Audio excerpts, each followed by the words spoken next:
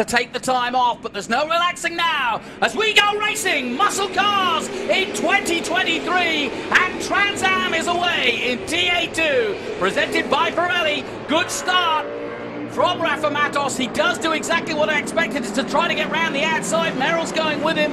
And Connor Mosack will try to defend. He doesn't need to. He's already got the whole shot. And now Austin Green settling into what? Second place. So Austin Green is the man who gained the most as Rafa Matos was defending his position. Connor Mosack going through there and Rafa Matos losing out to Thomas Merrill who went around the outside of him. So all change at the front. Rafa losing out.